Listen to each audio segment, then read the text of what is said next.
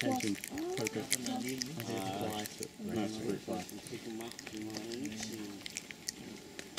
Ashley, focus.